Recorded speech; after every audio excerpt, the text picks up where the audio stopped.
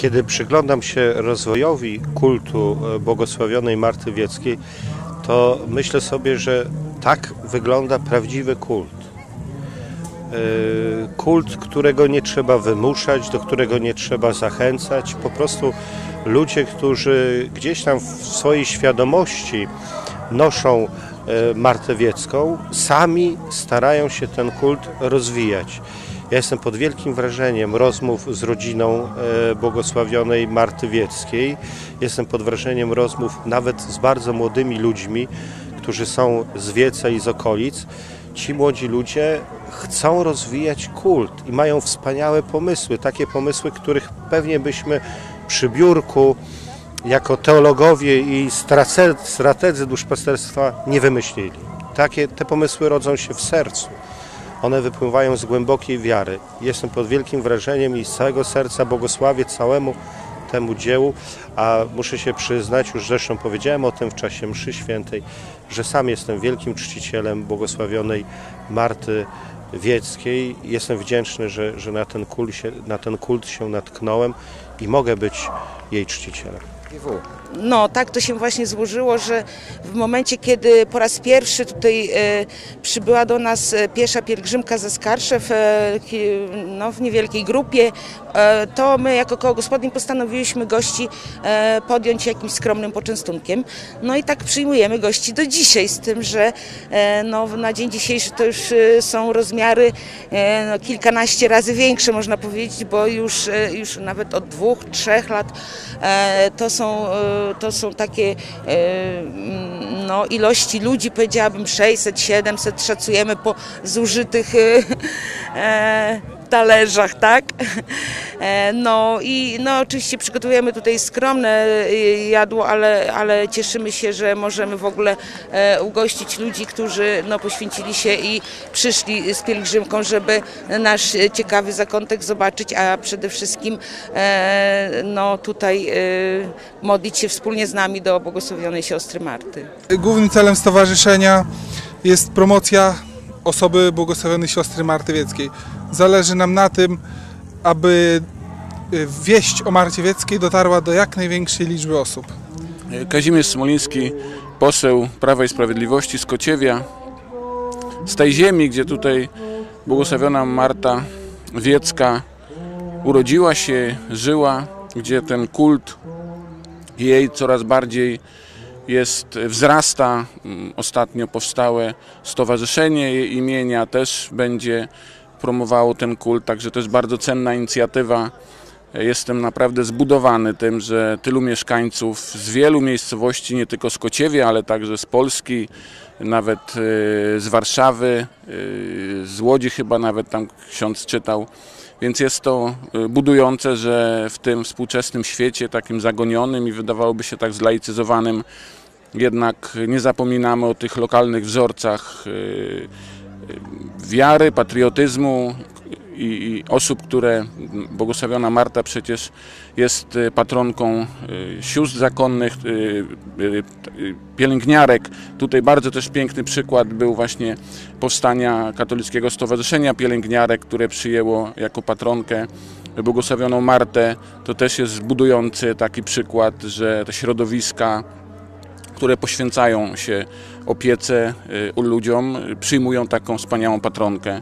Także mm, uważam, że jest to bardzo dobry przykład. Y, Warto odwoływać się, o czym tutaj ksiądz biskup mówił, tak, w modlitwach do tej błogosławionej.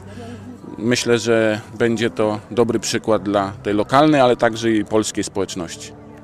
Jako katolickie stowarzyszenie mamy swoją e, kronikę, także na pewno wszystkie dzieła, które będą się dokonywać e, i organizatorem, czy, w- czy w jakiś sposób e, współdziałającym będzie stowarzyszenie, na pewno się tam znajdzie. Kroniki e, z różnych uroczystości są. To ro, robią to indywidualne osoby. E, każdy jakby zbiera te wiadomości jakby troszeczkę dla siebie. Trzeba by teraz troszeczkę to zebrać e, i na pewno by powstała z tego ładna kronika e, o, działa, o dziełach, jakie się dokonują e, w związku z Martą Wiecką. E, Wspaniały dzień. E, Jesteśmy tutaj wszyscy razem, połączeni ideą, symbolem błogosławionej siostry Marty Wieckiej. Bardzo ważne w naszych czasach, że możemy sięgać do takich symboli. Przy tego typu symbolach tworzy się wspólnota. To było wi- widać dzisiaj i widać tak naprawdę codziennie w Nowym Wiecu i w naszej gminie. My jesteśmy dumni, że możemy korzystać z tego rodzaju e, z, z takich wzorców, z takich symboli, które są kwintesencją wartości chrześcijańskich. W dzisiejszych czasach to jest bardzo ważne, żeby jednoczyć się wokół wspaniałych postaw, wspaniałych doświadczeń, wspaniałego dzieła, jakim było życie błogosławionej siostry Marty Wieckiej. Siostra Marta Wiecka jest takim wielkim wzorem dla każdej siostry miłosierdzia, a zwłaszcza, jak też dziś było to podkreślone, jest orędowniczką nowych powołań e, zakonnych, też kapłańskich. E, jej posługa, jej w ogóle wzrost w powołaniu i odkrywanie powołania i to zawzięcie te, i ta pasja przede wszystkim posługi i chęci służenia Chrystusowi, służenia właśnie w naszym zgromadzeniu, to jest to, co pociągnęło też mnie, pociągnęło e, też wiele młodych dziewcząt i, i ciągle pociąga też to otwarcie na tę łaskę Bożą, otwarcie na tą e, drogę, którą Pan Bóg każdemu z nas daje i każdemu, każdemu z nas wyznacza. Ale właśnie ta odpowiedź i to wstawiennictwo błogosławionej siostry Marty, która właśnie dla mnie, jako dla no, rodowitej skarszewianki, e, to właśnie mm, to jest właśnie ten wzór, który, który przyciągnął, przyciąga e, i który właśnie no jest, jest tym słońcem, właśnie wskazuje drogę właśnie do Chrystusa przez służbę e, Chrystusowi w ubogich. Więc siostra Marta Wiecka pracowała jako pielęgniarka, więc jest to mi bardzo bliska. Ja również posługę e, czyniłam jako pielęgniarka przez 25 lat w zgromadzeniu i jej ofiarność, jej służba taka y, no, bardzo prawdziwa i ona była dla wszystkich dobra i nie, nie robiła różnicy jeżeli chodzi o wyznanie, jeżeli chodzi o chory dla niej był, to był Chrystus w ubogim, który cierpi. Ona im służyła z bardzo wielkim oddaniem. Ona swoje życie oddała właściwie ratując rodzinę, y, ratując, y, wstawiając siebie za, za tego Pana, który miał y, dezynfekować y, pomieszczenie po chorym na tyfus. Jest ona tutaj dla mnie wzorem pełnego poświęcenia się w zgromadzeniu. No, była pełna pokory, miłości, umiała przyjąć wszystko i dobro, i to wszystko, co na nią spadało z ręki Pana Boga. I w każdej sytuacji mm, jakby była zawsze siostrą miłosierdzia. I wiem, że do dzisiaj pracowała w różnych szpitalach i do dzisiaj ten kult jest bardzo żywy. Byłam też w Śniatyniu, gdzie rzeczywiście widać, że ludzie przychodzą na jej grób, że proszą o łaski, są wysłuchani, świece się palą, szarfy tam y, składają.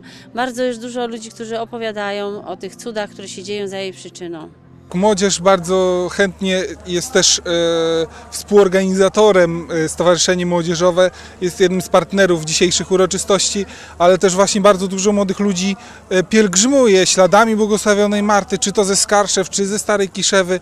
Są grupy osób, czy to kandydaci do bierzmowania, czy osoby, które już uczestniczyły w poprzednich latach takich uroczystościach.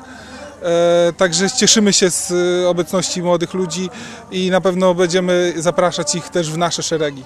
E, Byliśmy tutaj razem z naszym rocznikiem i kilkoma braćmi z roku pierwszego, aby kroczyć szlakiem błogosławionej siostry Marty Wieckiej, która, jak nam powiedział ksiądz Kamil Sobiech, jest, była bardzo zaangażowana w utrzymywanie powołań, w pielęgnowanie powołań i sama mówiła, że jeden z jej krewnych chyba też został kapłanem, więc jest to też dla nas taka pomoc w rozeznawaniu powołania i, i wyszukiwania różnych takich pomocy, myślę też u, u świętych, którzy już teraz mogą się za nami wstawiać. Szliśmy tutaj razem też jako rocznik, aby szukać pewnej takiej jedności, umocnienia na drodze do powołania kapłańskiego, na drodze powołania kapłańskiego, rozeznawania tego powołania i jego umacniania. Też na początku e, ksiądz rektor mówił nam o tym, abyśmy, e, abyśmy pamiętali o intencji. I to, ta, ta, ta myśl też wracała nie tylko u księdza rektora, ale także u księży tutaj na początku, kiedy byliśmy jeszcze w Skarszewach, aby o tej intencji pamiętać i ją, i ją przedstawić. Te intencje były różne, każdy, każdy trzymał w sercu takie, jakie, jakie są dla niego ważne. Myślę, że myślę, że ta pielgrzymka dała nam też wiele w perspektywie pielgrzymki na Jasną Górę, która już jest niedługo. My jako rocznik drugi już za rok będziemy obowiązkowo szli na tę pielgrzymkę, więc, więc ci, którzy jeszcze nigdy nie byli na pielgrzymce, mogli zobaczyć chociaż po trochu, jak to wygląda, jak to mniej więcej, jak to mniej więcej jest. Myślę, że to tyle. Dziękuję. Jak mąż był chory w, w akademii, posłyszeli nazwisko Wiecki i tak się zaczęło i zaczęliśmy współpracować, bo ja również jestem położną i zaczęłam też e, troszeczkę działać i doszło do tego, że dzisiaj właśnie te ślubowania zrobiły pielęgniarki i położne, zawierzyły Matce Boskiej swoją, wszystkich, wszystkie pielęgniarki polskie, e, katolickie e, polskie pielęgniarki. Jest, jesteśmy z tego bardzo, bardzo zadowoleni cieszymy się i mamy kontakty że coraz bardziej się naprawdę y, rozszerza kurs Marty. No, bardzo się cieszę, że w ogóle, że ten, ta pielgrzymka powiększa się. Już mamy te, na początku to było 150, pierwsza pielgrzymka, a teraz, no nie wiem, trudno mi powiedzieć, ocenić ile ludzi, no ale się cieszę, że przede wszystkim pogoda dopisuje, no i przede wszystkim, że coraz więcej jest pielgrzymów. I ten kult Marty się rozszerza coraz bardziej. Zwłaszcza na terenach Pomorza, gdzie tutaj ten kult widać, że co roku jest więcej ludzi. Ten kult jakoś bardzo jest rozszerzony. Są płyty, są książki, jest y, biografia, są zdjęcia jej, te obrazki są z modlitwą. Dużo modlitw powstało dla, do niej. Są opublikowane też jej listy, która napisała tak przepięknie. Pisała, bo kiedy opuściła Polskę, to już więcej do niej nie wróciła, więc na pewno jakaś tam tęsknota do tej Polski. Ale są one pełne treści, pełne jakiejś takiej troski o zbawienie drugiego człowieka. To było dla niej właśnie czymś najważniejszym. I na pewno dzisiaj, jeżeli ktoś chce, szuka, na pewno może się, może e, jest to dostępne. Jest też na stronie internetowej dostępne są materiały, zwłaszcza na stronie e, sióstr miłosierdzia. Specjalnie w, w prowincji krakowskiej siostry zajmują się, e, spisują cuda, spisują też prośby do Marty Wieckiej, bo tam właśnie w tej prowincji była błogosławiona Marta Wiecka. Do stowarzyszenia praktycznie może należeć każdy, kto zna błogosławioną siostrę Martę, zna jej życiorys, chce się włączyć w kult, e, jej, e, w jej kult mm, i w jakiś sposób wspomagać nasze działania. gdy zawsze się do Marty modlimy i mamy dużo łask takich odczuwanych. Ale chcę powiedzieć jeszcze księdzowi, że mi w tym roku udało nam się e, zorganizować pielgrzymkę z mojego miasta, Łebi. Ale jeszcze chcę powiedzieć więcej. Nam się udało e, pielgrzymkę stworzyć e, z pielęgniarek z, e, z całego e, całej szpi- Polski? Polski, z Gdańska. I tu przyjechali właśnie zrobić to ślubowanie. To I z tego się cieszymy się jak najbardziej, że ten kult się rozwija.